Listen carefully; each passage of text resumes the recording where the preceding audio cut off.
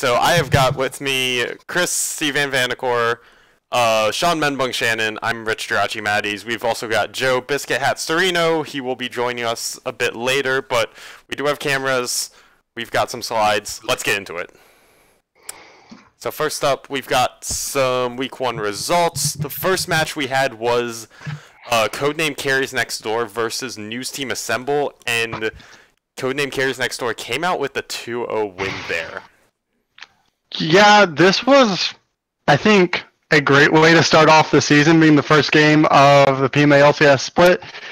There was over 90 kills in both, like both games combined. A bunch of back and forth. You know, it's uh, you know, you saw really, really good plays out of uh, Brick Tamlin for the most part on the side of New Team, News Team Assemble, a rookie. Uh, and then on the side of Codename Carries next door, uh, Maye and Rafal, two other rookies looking really, really good and uh, looking to form uh, off the ha- back of their captain's performance in Panic at the Top Hat. Yeah, you can see on your screen the MVPs from that series were Maye in the first game, Panic at the Top Hat in the second game, Maye having a monster performance on Olaf the second game, or the first game rather, and then Panic at the Top Hat having some ha- just having some great Veigar play all around, and we'll get to some more of those guys later. In the meantime, the next match we had was the Lunchboxes of Doom versus the Power Bottom Boys. Power Bottom Boys also taking a 2-0 there over Lunchboxes of Doom in, I'll call it pretty convincing fashion. Someone wants to take that. Chris? Uh, sure, yeah. So that match was honestly a lot different than I had expected. Um, we had the first game, some pretty hardcore carrying going on from Frontlash. Uh, his Vi performance was just absolutely ridiculous, um, popping off and dumpstering pretty much every lane on the map. And game two, Rob, I mean, he had some incredible team fights, like just ridiculous ults. Uh, there was just great team play overall from PB, PBB. They seemed to be a rather aggressive team, so they took some pretty uh, intense dives and deep team fights into the enemy uh, enemy jungle, but they came out on top. So Yeah, I'd like to to preface this with for those of you who didn't watch, there were subs on both sides. Jimmy was in the top lane for uh, uh, Lunchboxes of Doom, and then they had StarCraft on the side of Power Bottom Boys.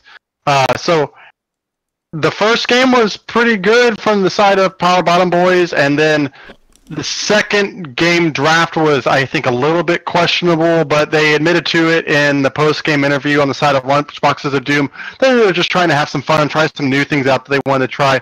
Because at the end of the day, the Cho'Gath, Cho'Gath and StarCraft was just absolutely. Yeah. I mean, he was the eater of worlds, as uh, his lore indicates. He was massive. true.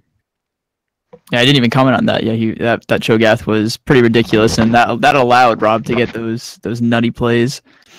Uh, So- Four man shockwave is so Yeah. pretty, man. Yeah, we will, and we'll also be visiting some Rob Shockwaves later. He also, not to mention, he had quite a few solo kills mid lane, including a first blood and a one v two off uh, ganks. So just some nuts play from PBB, and I think one of the themes we'll see from the three teams that got two O's is they just displayed some insane synergy and cohesion just from week one. CNC and D doing the same thing, and oh, we'll talk about OEG in just a second, but I think same same thing applied to them. So speaking of, are we going to? No, we're not going to OEG next. We're going to Popo's pecking order versus the long anime schlongs. This was our first draw of the season.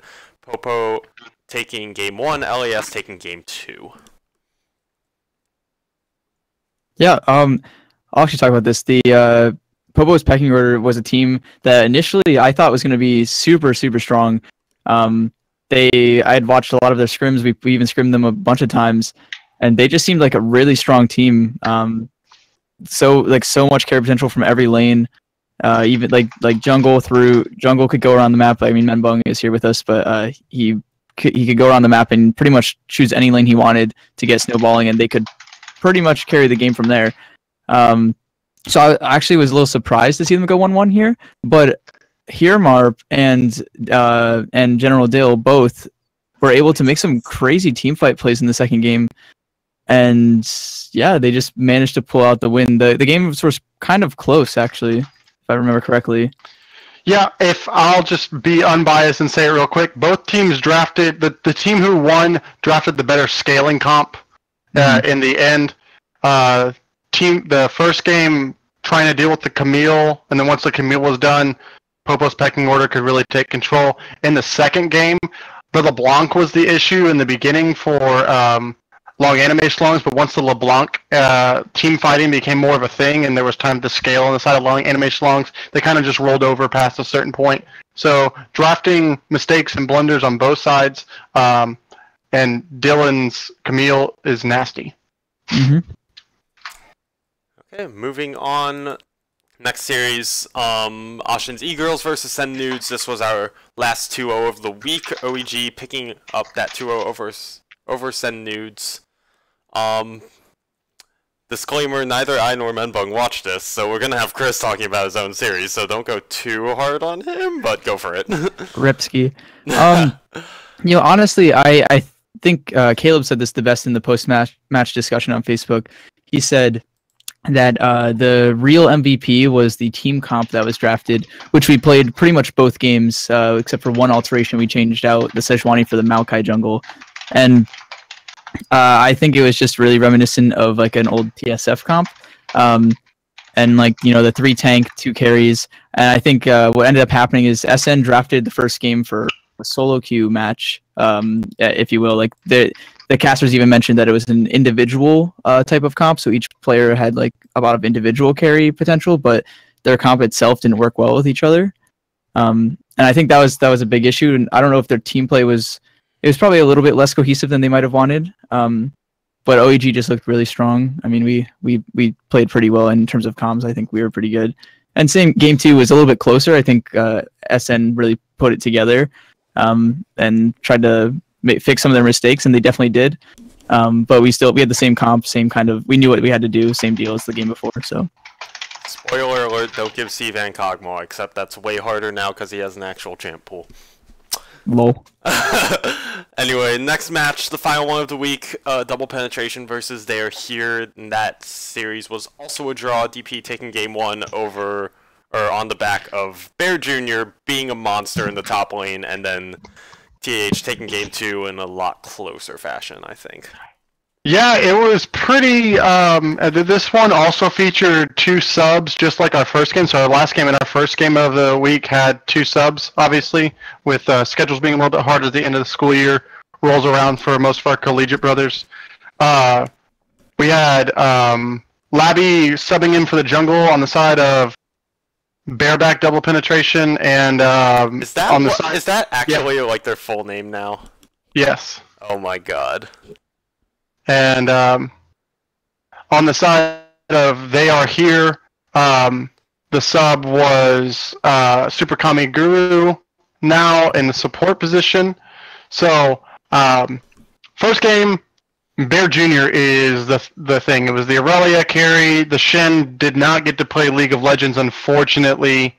Uh, and Garfield Juice was just not having uh, a really fun time up there. Uh, and then in the second game, it was very much the opposite, um, where he tried to get a lead by picking the Aurelia again, but the Maokai solo killing under tower and just a bunch of just a bunch of kills everywhere. Uh, it was a very interesting. Steven and I both casted that game, and it was uh, quite an interesting turn of events from game one from game two. It went really 180 from what you thought game one expectations were.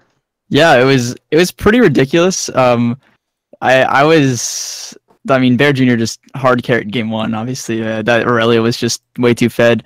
He had some mistakes like going into the second game. He I think he thought he was still like 20 and 0 and was like, oh yeah, I can still just one v five.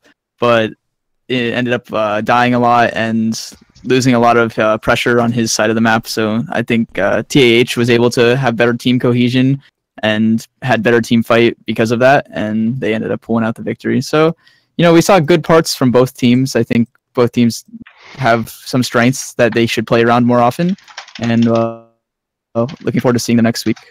Yeah, I, I do agree. I, I think it's also very hard when you've played and performed so well on a champion to I think we memed on the cast about he thinks that some of the extra gold that he had left over would have accumulated and put like rolled over to the next game. But uh, I think it's hard when you're play for any player to, especially amateurs, to play the same champion into a same type of matchup and not think you could abuse it the same way.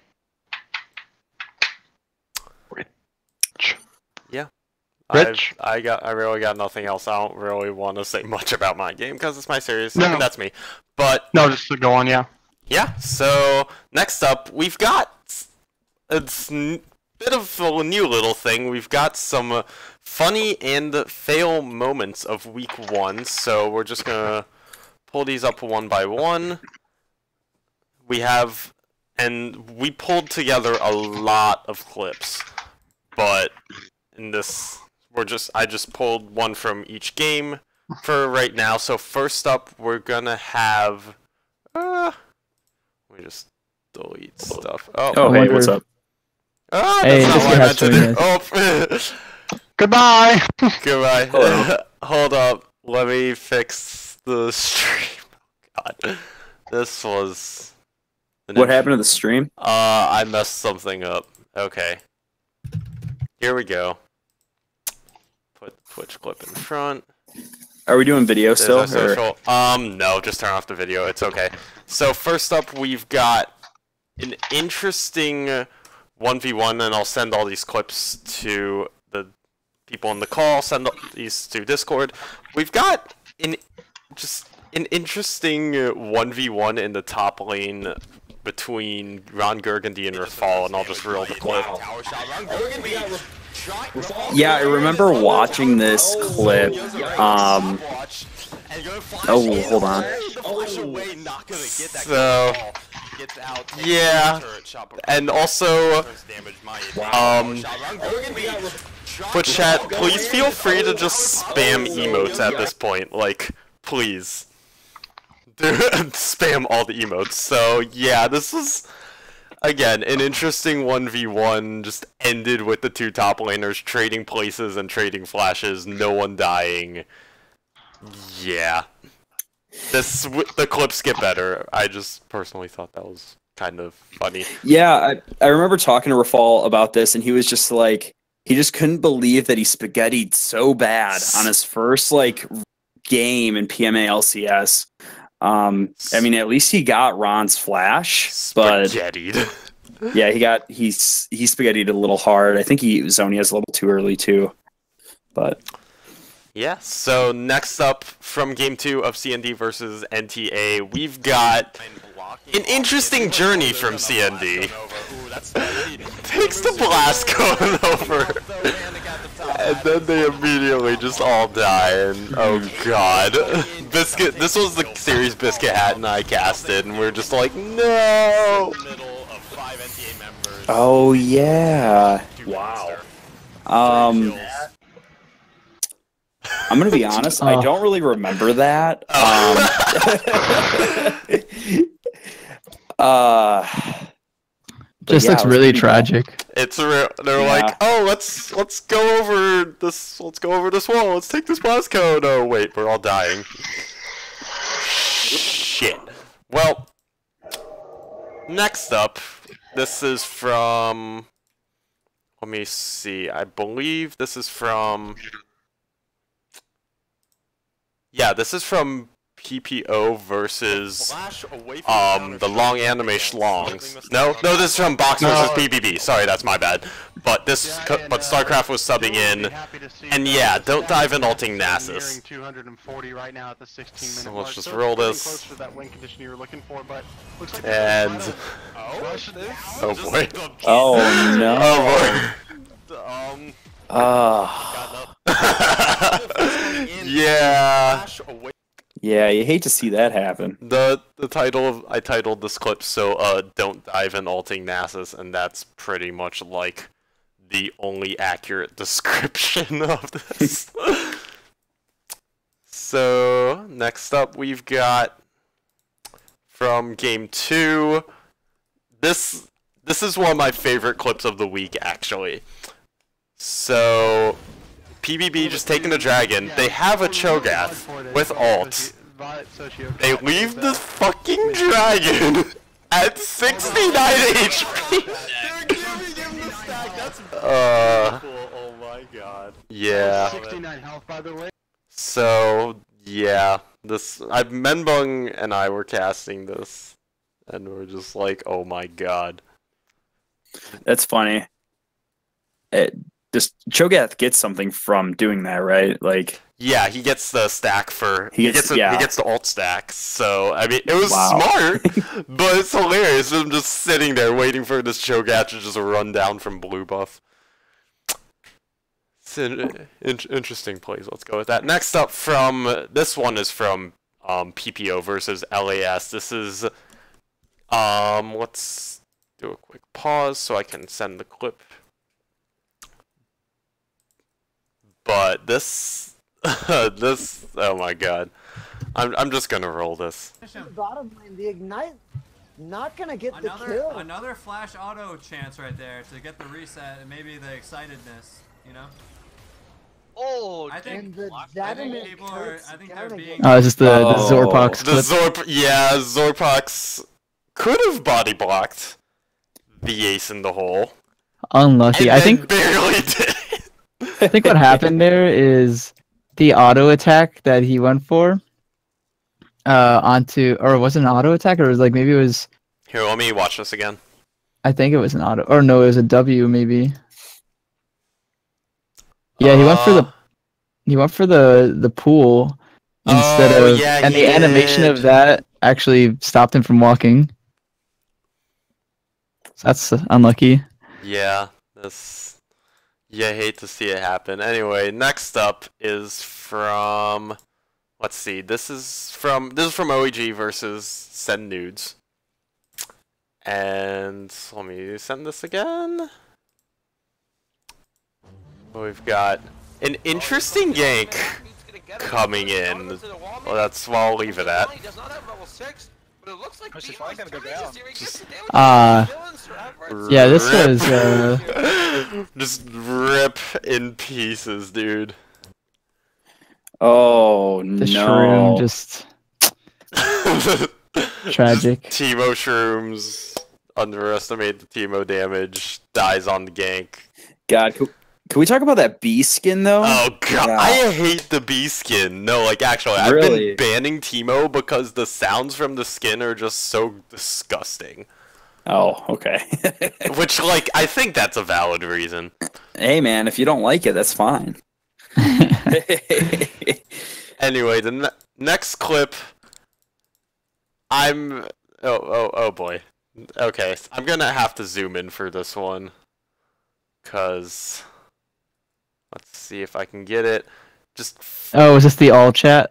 Ah, yes. this is what Caleb decides to drop in all chat. Yo, it's a it's a truly classic issue. It's a common Your problem. pubic hair stuck in your a mouth. oh God, was he being serious? Is this so? Is this laggy? Still unclear if he was being serious or not. God, Caleb, are you here? Can we, can we get something in the Twitch chat confirming or denying it? Oh, the tw- the stream is lagging. Is the stream lagging? Damn it. Uh oh. Uh oh. Hello. Well, for what it's worth, we'll be putting out a fail montage at some point later, so you'll see all these and more and com- coming up. So, if anything's getting missed, it's okay. Indeed. Indeed, Reno. Um, let me just poke around, make sure I got everything. Okay. Well, we'll we'll go. Why don't to... we why don't we skip the the top ten plays? We can just give them the link and then because it's gonna Yeah, lag, sure. Yeah, sure. and we can just go Um, to upcoming matches. this the last couple clips aren't fantastic anyway, so we'll mo- we'll just move up to not the not the top 10 plays because that'll lag, but we've got our upcoming matches on Thursday the 17th at 11:30 p.m. EST. We've got Lunchboxes of Doom versus Ashen's E-Girls. on Saturday at 10 p.m. EST, we've got Codename Carries Next Door versus Send Nudes. And then on Sunday, we've got a triple header. Oh boy. Um, tentatively at 9 p.m. EST is Power Bottom Boys versus Double Penetration. 10 p.m. as confirmed, N- News Team Assemble versus the Long Anime Schlongs, and 11 p.m. EST tentatively is Popo's Pecking Order versus They're Here. We also appear to have lost Menbung, rip in pieces, but yeah, just short, quick, easy recap. I'm I'm looking forward to next week. I don't know about you guys. Oh, I am too. It's really, you know, week one. I think they said it, you know, in in NA or EU. You know, week one, you always have some wacky shit happen, but you know, as the weeks go on, we'll be able to see who comes out on top, and you know, Oh, I know why my stream was lagging. There was a um Acrobat re- uh, Adobe Reader is installing an update, and I oh god, that might be why. God damn Adobe. Frickin' well, you know- dude. I'm actually I'm pretty excited for next week. Um, we got I think an opportunity for some teams to start to break break off onto the into another 2-0 week possibly, so they they kind of break out ahead of the Mhm. pack, and then uh, another possibility for other teams who got 2-0'd to bring it back and kind of stay stay with it, and uh, instead of falling behind and uh, going 0-4 um, doesn't necessarily do anything terrible in terms of standings later on, but uh, these early games, like every week counts. So every game counts actually now that we have the single, or it's like wi- based on win loss record. So the more wins you have, you know, even if you can go one one, hopefully we can see some teams pick up a win and uh, bring that bring that uh, bracket closer. Which match are you looking? Are you guys looking at for the match of the week? Hmm. Um, personally, for me, um, you know, with Rafal, you know, knowing Rafal personally, I think I'm just really looking forward to his match. Um, just because I could talk to him one on one about it, and you know, talk to you know, and with, with seeing how his team did the last week, I'm really excited to see if they could 2-0 again. Um, but we'll see. You know, I'm I'm actually curious to see uh, any of the teams that won one how they play into their matches, um, but more specifically PBB into DP. I That's, think that's what I was going to highlight too. Actually, Yeah, because I, I think it's gonna be interesting to see if DP can can pick out uh, pick up a win against a team that 2 0'd. And PBB had a substitute top laner, or actually, yeah, top laner. They swapped Sub- front lash to the jungle. yes. Um, so front lash will be back in the top lane, and then they'll have hopefully. I think they don't have any subs this week. Um, they'll hopefully have their jungler back, and we can see their full team. Maybe maybe it was a fluke that they 2 0'd. Probably not, but you know, you never know. Um, and I wonder if uh, they're gonna have a different or DP will have a different game plan in going into a team that they know is capable of winning. So we'll see. Yeah, Yeah. All right, that'll do it for Rich, are you excited about your match this week? I'm always excited for my matches, dude. I'm excited to destroy Menbung in at one game and then get destroyed the other.